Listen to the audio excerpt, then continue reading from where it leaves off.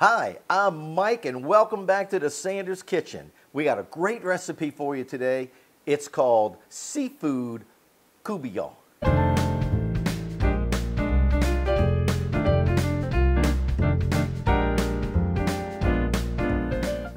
I want to just educate you a little bit. Now, there's two different terms that you will see. One is called court bouillon, or pronounced courtbouillon. And what that is, is a French term meaning to poach the fish in a vegetable stock with seasonings and white wine. But the Cajun term couvillion with a V, it's pronounced couvillion, uh, is simply a Cajun fish stew. Now, I had to write that down because I didn't want to be confused myself, but we are making couvillion. Okay? That's what we'll be making today. Let me show you what's in the recipe. There's a lot of stuff here. Don't let it shake you. Everything's going to be in the description, the whole recipe. So what we have is, to start off with, we have onions. We have one onion, bell pepper, celery. We have fresh parsley, and we have garlic. I picked a whole bunch of green onion from the garden outside and you know we're growing it and, and I love fresh green onion.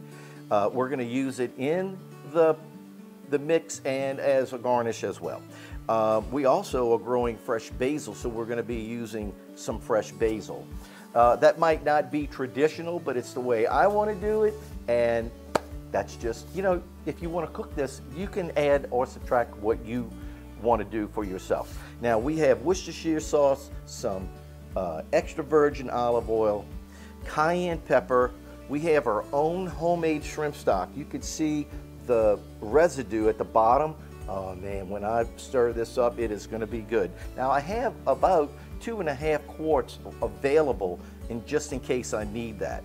Uh, we're gonna be using some crushed tomatoes, or whole tomato, well, I'm gonna crush them anyway. And some tomato sauce, white wine, a little bit of our homemade caliente, which you can get if you wanna order it. And um, we're gonna be using some Cajun land blackened redfish seasoning. You can get that online too. But the star of the show, if I, look, if I forgot anything, I'll add, don't worry about it, it'll be there. But the star of the show is about two pounds of fresh Gulf shrimp, and about three and a half pounds of fresh catfish. And it's right there in the plate. But let me tell you, this is gonna be good. Now you can add redfish. You could, could use trout if you like. Trout's a little soft, but you know, hey, catfish or redfish. So what I'm gonna do next is move everything out of the way, cut all of my veggies up, Get ready to start cooking. I'll see you in a few minutes. Okay, forgot a couple of things. You know, we're gonna make a roux. All-purpose flour, half a stick of butter, and hey, boop, boop, some bay leaves. Gotta have a few of those. So now let's get to cutting everything up.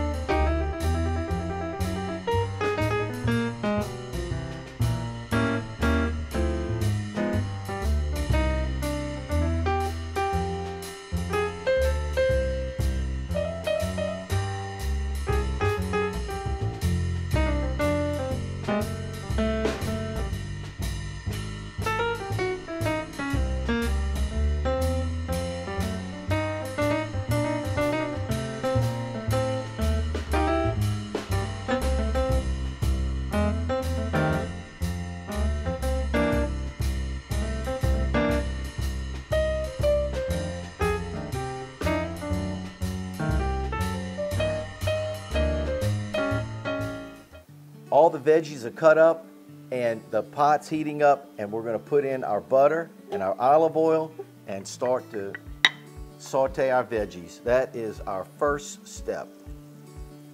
Time to add in the onions. and all of the rest of the veggies. Onions, bell pepper,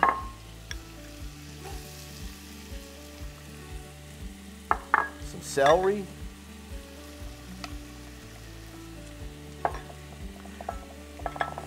parsley, and my garlic. And a little bit of green onion.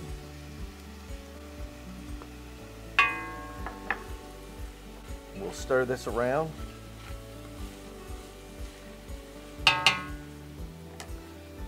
Add in a little salt.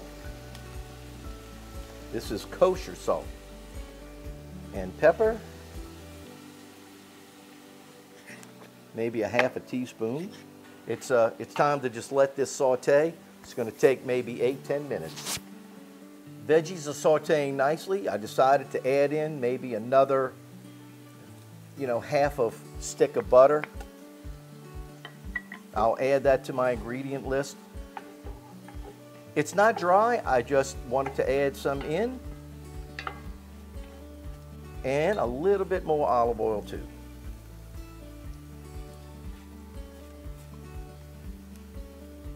We'll continue to saute this until it gets soft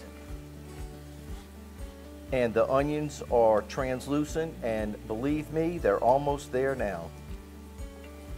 Oh, the veggies are looking good. They look fine, just like it's ready to go. So I'm gonna go ahead and put in my quarter cup of flour. This is about a half a cup right here, so I'm only gonna use about half. What I need to do is incorporate the flour into the all of the veggies until you can't see it anymore. I'm gonna add a little bit more. Okay. Okay, my veggies are coated well, so now I'm gonna go ahead and add in my white wine. Now the wine's going to start deglazing the bottom of the pot. But it's still not enough liquid yet, but it's, a, it's going to add a great flavor. So the next thing we're going to do is add in the tomatoes. And the tomato sauce. Now I'm going to stir this in and I will crush up those plum tomatoes as I'm stirring. But I'll stir that in and as you can see, it's taken on that reddish look, that tomato sauce look. So you'll see that it is pretty thick now because of the flour, right? So I'm going to turn my fire down a little bit, about halfway, and I'm going to stir up my stock.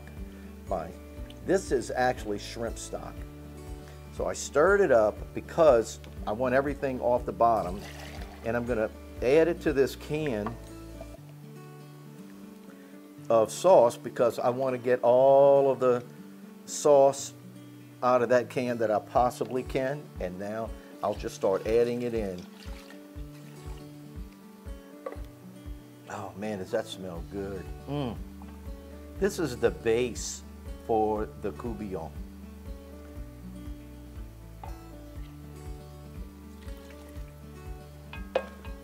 Now let's go ahead turn the fire back all the way up.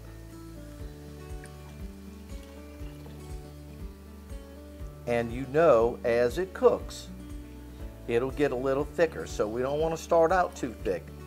We'll thin it out with the shrimp stock. Okay, so we're at a point where we can go ahead and add in our basil.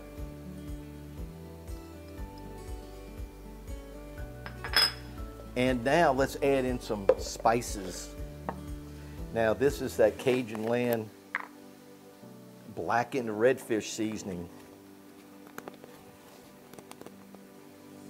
Let's go ahead and add in a couple of good sized tablespoons of that. We can always add more, right? Now this is a teaspoon and this is cayenne pepper, but I'm only gonna use about a half a teaspoon, about that much. I'm also going to add in some of our homemade Tabasco hot sauce, which is actually, we call it caliente, but it's made with Tabasco peppers. So here we go. We're gonna pour it right in there. It's kind of thick. Oh yeah. But let's not forget, we need to add the Magic Potion Worcestershire sauce. Okay, we're gonna add two, two tablespoons. And now we'll just stir everything around with my flat spoon. So before I put the lid on, I'm gonna go ahead and put my bay leaves in. Don't forget, count them before you put them in. One, two, three, four, five, six. Now the reason why I count them is because before I serve, I want to take the bay leaves out. If you don't care, then leave them in and let them let your company lick the sauce off the leaves. It doesn't matter. That's what I do. So at this point, what we're going to do is put the lid on and we're going to simmer for about 30 minutes. Then when 30 minutes is up, we'll go ahead and add in the fish and the shrimp. And in the meantime, I'm going to take some of this blackened redfish seasoning and I'm going to sprinkle it all over the fish just to give it a little more flavor than just bland fish. And when this is ready, we'll come back and show you. We're going to tuck all the fish and shrimp in, simmer it for another half hour, and it'll be ready to eat. So stick around. This is going to be really, really good. Well, only a few more minutes until the sauce is ready to put the fish in, you know? So um, we're to go ahead and season. I'm, I'm seasoning up the fish just a little bit here. Not much. It's a light sprinkle. I don't want to overspice the whole pot, but I don't want the fish to be bland. So if you want to omit this step, that's up to you. But I know I'm to love it. And, uh, and now the fish are ready and now I'm going to do the same thing, just a little bit to the shrimp, not much. Add a little bit of spice.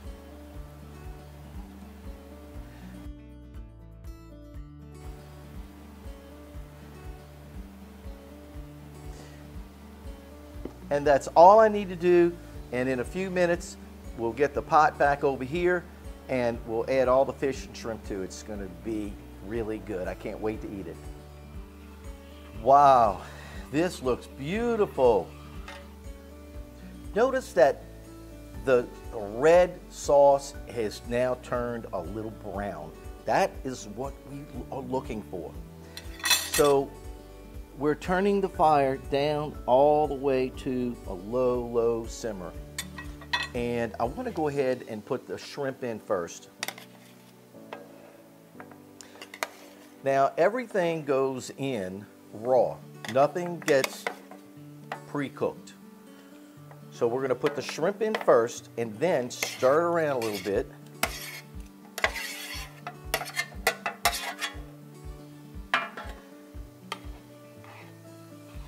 But when we put the fish in, we're gonna be careful not to stir it that much.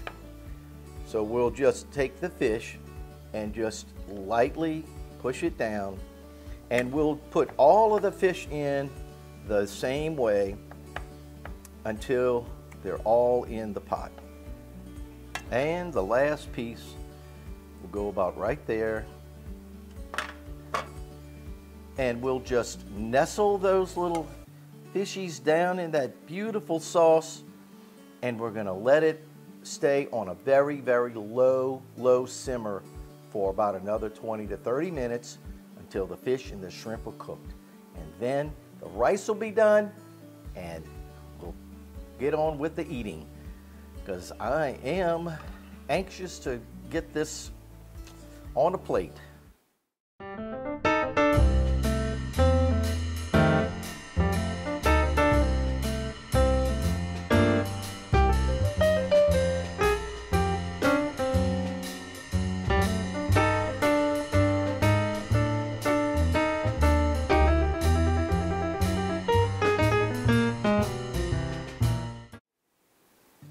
Okay, the couvillion is finished. We already plated it up because I had to take a couple of pictures, okay?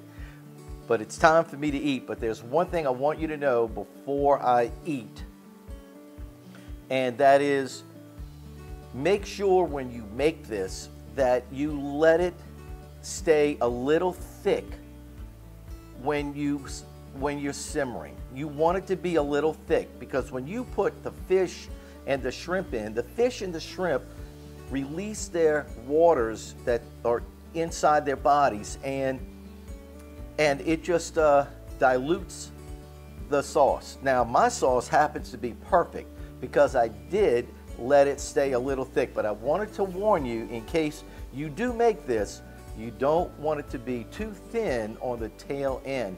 So make sure that it's a little thick okay? Now uh, before you put the fish in and, and the shrimp. Okay, so my mouth is running water. I can't wait to dig in. Uh, now, I did taste it earlier, and, you know, Pam and I both agreed that it needed uh, a little bit more of the uh, blackened uh, seafood seasoning, the blackened fish seasoning. Uh, it's a great flavor, but because we put so much fish and shrimp in, and even though I did season it, it just still needed a little bit more. So I added almost a tablespoon. And, and that did it. And then I added a little bit of salt. So guess what? Salt and pepper to your taste and spice it the way you like it. Don't overspice it because I like it spicy, okay? Alrighty, so here we go. A nice big piece of shrimp with some rice. And don't forget the green onion on top. Mmm. Mmm. Mmm. That was a huge shrimp. Now let me have a piece of fish. A little gravy, a little rice, a little piece of fish, with some green onion on it. Mmm. Mmm. The fish is so tender but it's cooked. And the way you would tell if the fish is cooked, take a piece out, put it on your plate, take a couple of forks and pull it. If it just pulls apart, then guess what? It's cooked.